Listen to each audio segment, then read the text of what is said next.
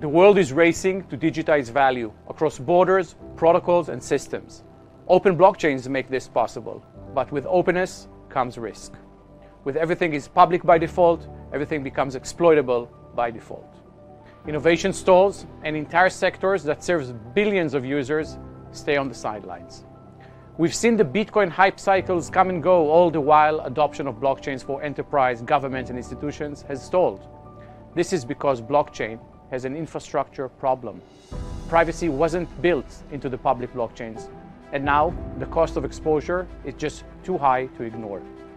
We know this because we have these conversations every day with enterprises and institutions and governments around the world. This is why Coti exists, to solve this problem through on-chain privacy. So what comes next? The answer is finally adoption. And this is what we want to do in Coti.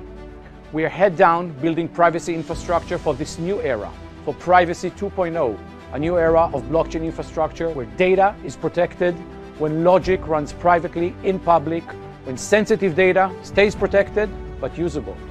This is when builders, institutions, and ecosystems can finally and fully adopt blockchain. Welcome to the new era.